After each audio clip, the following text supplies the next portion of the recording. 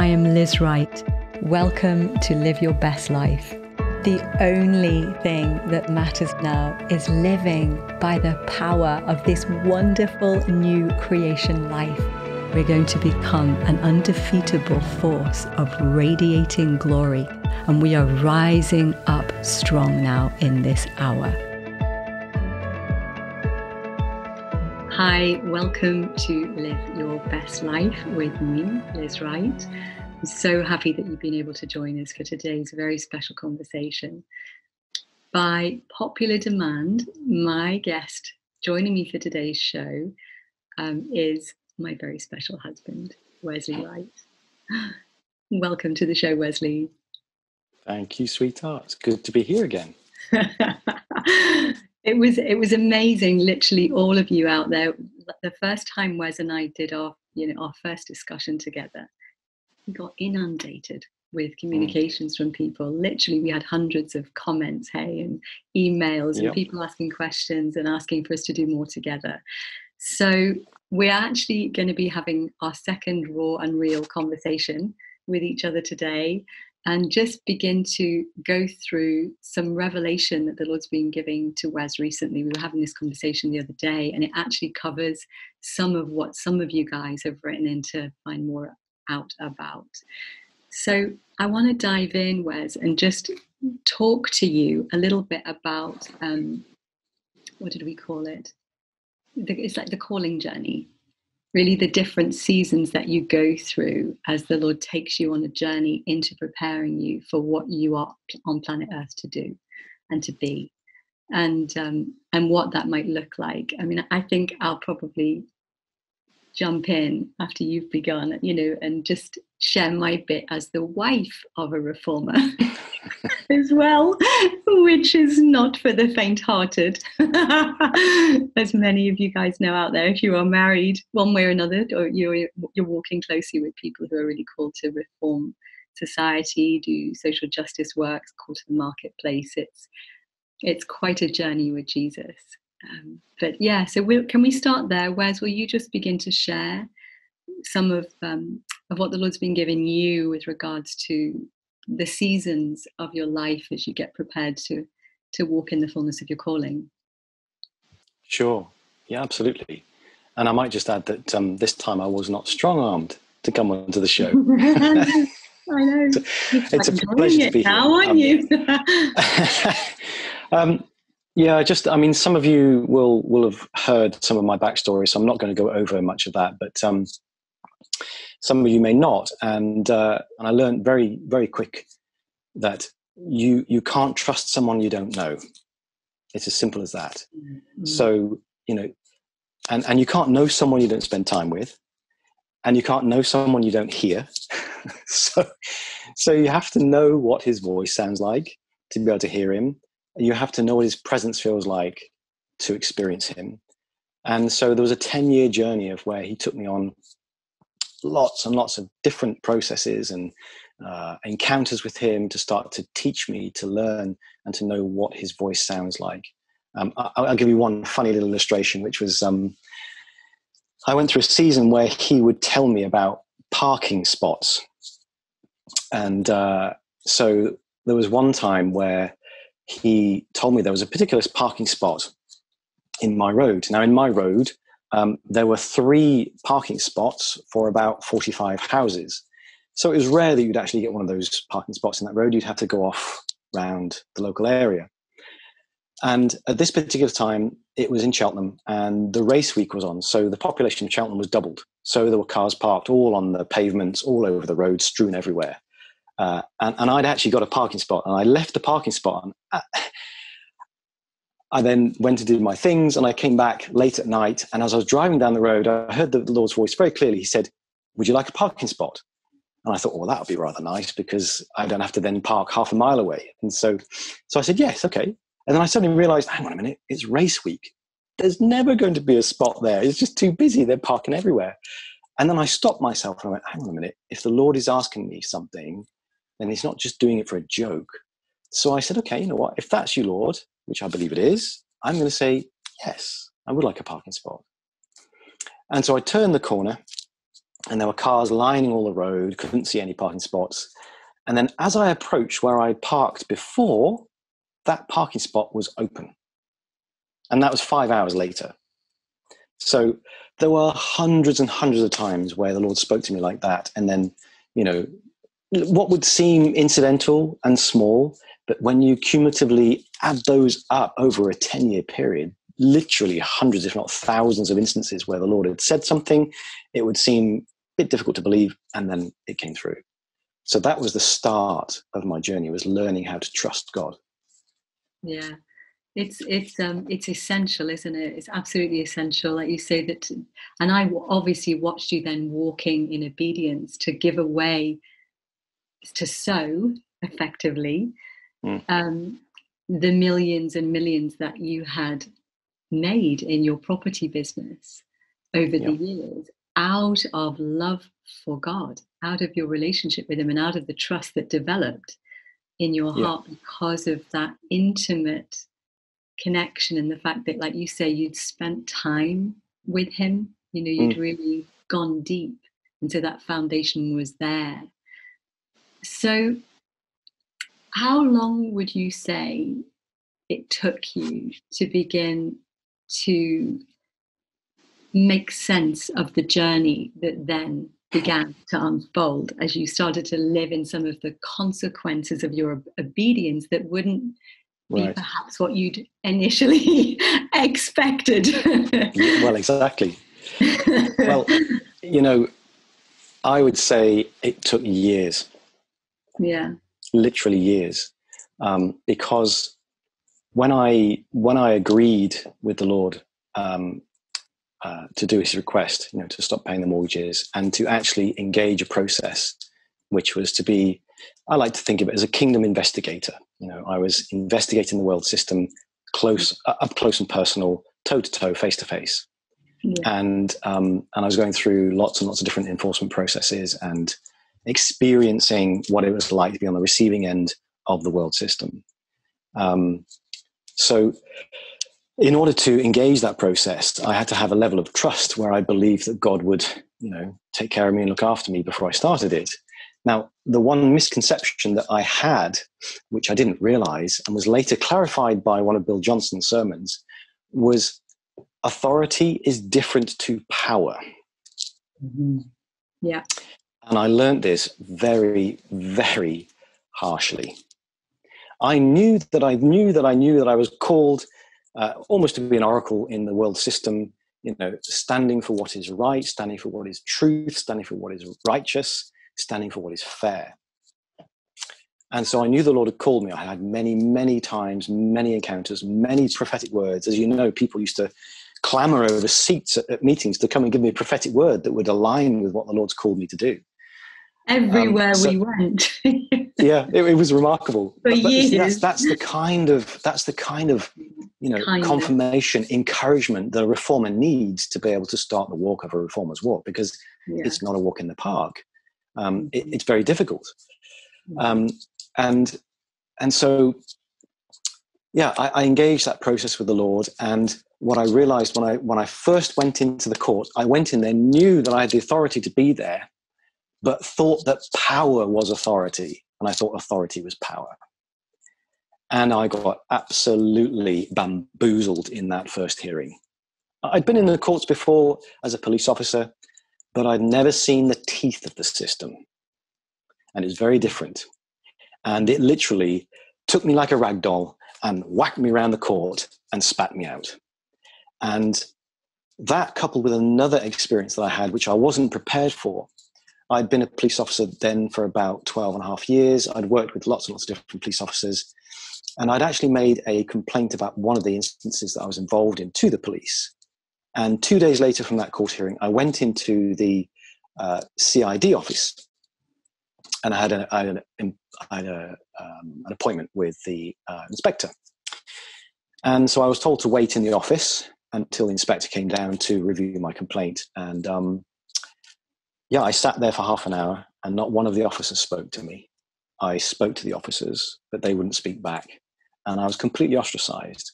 And so there was another lesson that when you start a reformer's calling, you tend to be ostracized as well. And I, I wasn't prepared for it. I didn't realize that people would come under fear and they would bow to fear and they would do all kinds of things you'd never dream of people doing under fear.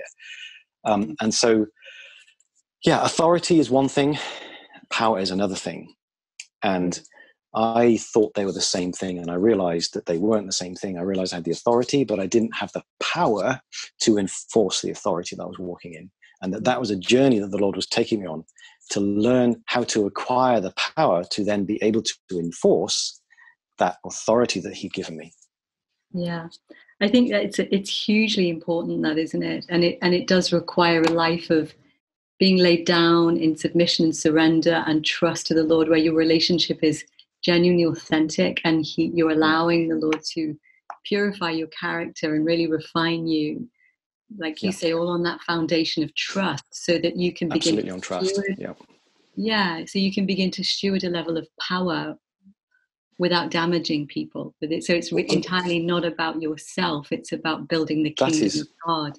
That that's a really important point, sweetheart, which is to be entrusted with power. Uh. I, I, th- I don't think the world system tends to entrust power. The Lord entrusts power. He does. And there's a very different, there's a big difference between power just being forced on someone or, um, you know, acquiring it through a process of force itself. Yeah. You know, the, the, the, just because power is something that can force something through doesn't mean that that power is right. If it's not authored in love and it's not bridled with love, it will always produce carnage. No. And then starting to learn how how the training process operates is also very interesting. And, and you touched on the point earlier about what revelations the Lord has been speaking recently. And I, I, I, to a certain extent, wish that I'd have known this at the start of my training process with the Lord, because his request for me to stop paying the mortgages and go into a whole process in the legal arena and the financial arena was actually the next stage of my training process. And that spanned a period of maybe 10 or 12 years of training. very hard training. Hmm. I went into that training process thinking that that was my calling, thinking that authority was power, and therefore thinking that whatever I touched, I would succeed in. and by succeed, I mean win. Mm-hmm. And it was only last week, we're talking 12 years on, that the Lord actually enlightened me as to what the training process was all about. I mean, we're talking years and years and years on. and yeah. so I share this to people who are going through a process of training. You know, we've heard it training for reigning, haven't we? You know, mm-hmm. um, and and in it, it is. It's training for reigning, and the reigning part is actually walking in your calling. Yeah. And that's been entrusted with influence. It's been entrusted with power. It's in, from power on high, like the disciples were. Yeah. Um, and I mean, look, it's so common sense looking at it now, but I hadn't seen this for the whole period of the training process. And, and you know, I'd lost and lost and lost and lost and lost. I only had two wins in the whole 10 or 12 years of going to court, hundreds of times. Very hard process. And, and, and I thought I was going to win all the way because I thought it was my calling um, as you do if you think you've got the authority. Right. Um, and what the Lord said to me was, uh, He reminded me of one of my main sports as a child, and I used to be a swimmer when I was a, a youngster. I used to uh, do competitive swimming at weekends. And um, he reminded me of the training process to become a better swimmer. And he said, um, So, what was your training for when you were swimming? I said, Well, it was to get stronger it was to build stamina it was to build your sort of character so that you can you can you can be self-motivated and because in the water you can't really hear anybody else you can't see anybody else it's just you against you and then you only find out at the end whether you've actually met, met the time you're trying to to achieve so he reminded me of that and he said did you ever win any trophy in your training season i said no, that wasn't the point. And the Lord said, you know, and I love it when Bill Johnson makes a point. He stands at the pulpit and he'll stand there and he'll be quiet for a second and kind of just gently nod his head until the penny drops with people. and that's what the Lord did with me. He just sat there and waited. And I went, oh my, I've never seen that. training is not about winning in the form of success in the worldly sense in the training process. It's to build the stamina. It's to create the experience. It's to, it's so that you have enough in you that when you are put in the race, you are prepared for the race to win the race. Yeah. Now, had I understood that, it probably wouldn't have been as difficult a process. But I didn't. I didn't know that. It was just last week. so I share that with humility to everybody because, you know, and also as an encouragement that if you are going through your training season, which could be a month, it could be a year, it could be ten years, it could be twelve years, like mine was, uh, or longer, that the training period or the training season is not about a worldly sort of position of success or winning. It's mm. about the inward character building, the forming of strength, the forming of power, so that when you step into your calling, you are fully prepared to run and win the race. Yeah. It's just so powerful what you're sharing, Wes. I mean, from my perspective, to be vulnerable, family. Um, Wes and I had been, we got married in 2012, as you'll have heard if you watched the previous show.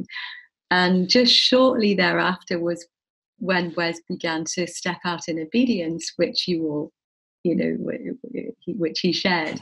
And, um, and our life went from being really nice to absolute carnage in a matter yeah. of months.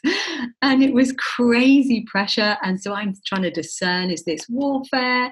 You know, what the heck is going on? Is it, you know, has Wes missed it? Is he, because I could see the depth of intimacy, you know, and the level of faith that he had and the encounters that had undergirded his his determination, you know, even like, um, you know, um, John Wesley and and Wilberforce and some of the mm. reformers that you know gone in, in in days gone by, where they described being compelled by the love of God. You know, they believed absolutely that Christ's love could reign supreme in your heart, you know, and that was yeah, the motivating absolutely. power behind the reformers' life choices. I could see that in you. But I'm thinking, man, this is like crazy. and so I said to the Lord one day, okay, what time is it in Wes's life? Uh, meaning in the calling journey, you know, what time is it? And expecting to hear him go, oh, he's just going into the palace now. You know, we're going to bring the kingdom across the nations of the earth and set people free from debt, slavery, and all the rest of the things that Wes is called to. And, um, and I heard the Lord as clear as a bell, and He said to me, He's just gone into the prison using Joseph's life as an analogy. It took me about three days to accept that that's what Jesus had actually said. I knew He'd spoken it, but I'm like, no, no, my beautiful life has just been blown up.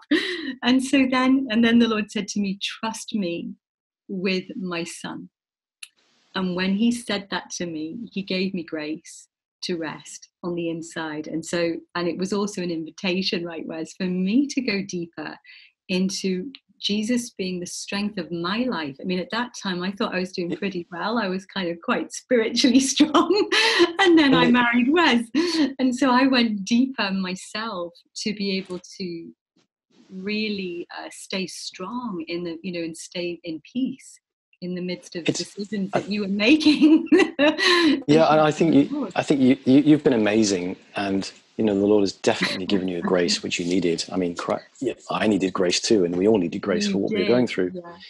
Um, and, and, I think it's we, we, we tend to have a, a slight misconception in the Western Church that when you're called of God, everything will just come together and it will just be fine and it'll all work out. You know, right. And, and yes, if I guess if in the end, but there's this sort of yeah, when you're in, when you're in God's God's line, that's it. It'll just fall into place. And I actually was very moved by there was a gentleman that um, he he travelled about three and a half hour journey to come and sit with me in a waiting room before I was going into court. Oh. And he asked me a question. He said, "Why am I here, Wes?" And I said, "Well, you've come to you know you've come to just support me, and and uh, it's very nice that you've come to sit and just wait in the waiting room." Uh, there was a bunch of criminals there and what have you, and um, uh, because it was a it was a um, that was a criminal court, uh, magistrates' court, and and it was nice to have company there, um, you know, um, and he said, Yeah, well, that's a given. He said, But what's the real reason I'm here? And I said, I thought that was the real reason. He said, Nope. He said, I'll tell you what the real reason is. He said, There's a type of misconception in the church that if you're operating and walking in your calling, then everything goes just right. He said, But if you look in the Old Testament and you look at the prophets of old and you look at those that were called to reform society and influence, he said, they went through pretty difficult times to, for their training process. And he said, I'm here today to honor you because I see the authenticity of Christ in your life. Wow, I remember that. Now, if that isn't an encouragement to then go into court from, I don't know what was. I mean, it just absolutely blew me away. I was so encouraged by that. So beautiful. I remember that moment. Mm. It was a kiss from the Lord. Yes, from a very precious man who's another friend yeah. of God. And yeah. I remember um, yeah, over and over and over, I've watched you in your expression becoming love. And I think for anybody called by God to do a work that is really of the kingdom, that's the mark, isn't it? In the end, like you said at the beginning, it all has to be rooted and founded in love for yeah. love. Yeah. Yeah. You know, and, and, and, actually, just to share a bit of encouragement, I am now starting to step into my calling. Um, Big time. The, the end phase of my training started about four years ago, and I'm now starting to step into the realms of calling. And the individuals, the organizations, the kingdom projects that the Lord has me working in are absolutely amazing. And I can see God's heart fully beating in them. And it's, yeah. it's so encouraging, it's invigorating, it's, it's, it's healthily challenging.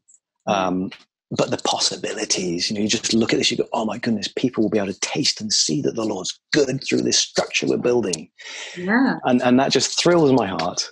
Yeah, absolutely. Seeing true economic systems being put together by people yeah. motivated by love. Literally, it's, it's also a process of identity. Yeah. Because, you know, to sit in positions of power, we must be in our identity in Christ yeah. Otherwise, we'll only reproduce what the world has reproduced. And that, that's just useless. In fact, it's abusive. We don't want that anymore. We actually want no. Christ's nature to be fashioned and formed in all that we do, whether it be business, family, whether it be fun. You know, it, it needs to permeate the whole of society. Yeah. Because then love will not just have its say, but then love will actually be a, yeah. a canopy over everything and everybody. Yeah.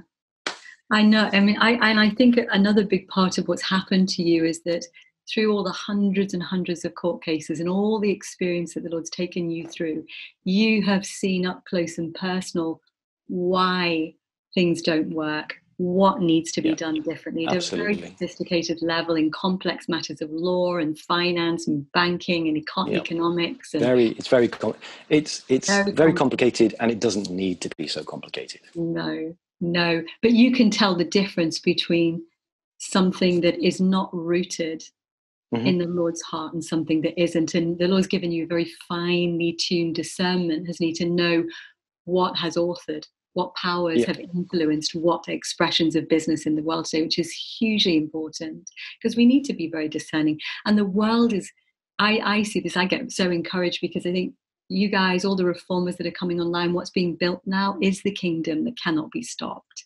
The Lord's mm. preparing the earth for his return, and we all get privileged to play a part in it. It's so amazing. We do indeed. So amazing. Yeah, it is, it's in finishing, I can't believe how fast that time's gone. Wow. Please, can I ask you to pray for people just in closing who are maybe they're in this right now and you guys can't make sense of your life? This is just to encourage you to as yeah. you keep prioritizing your relationship with Jesus and intimacy with him it's the wisest thing you can ever do with your life because your life calling will flow out of your intimacy with him. Father thank you for this time. Thank you for my amazing wife. Thank you for these podcasts. And i thank you for every individual that's watching this show. And lord i pray a special blessing for everybody who's watching this show. Whatever part of their calling whatever process they're involved in Lord, I ask grace sufficient for the day for them. And I also ask for understanding of where they're at. I also ask that they would have clear, clear ears to be able to hear what you're saying. that the encounters that they would have with you would be uplifting, encouraging, recharging, reforming. And that most of all, that they would be able to hear your beating heart of love and feel those beats and walk to those beats and work with those beats. That the beat of your heart of love would be the very sustenance, the very foundation, and the very energy and power that propels them forwards. So I bless you all in the name of Jesus. Amen. Yeah, we agree. We agree. Amen.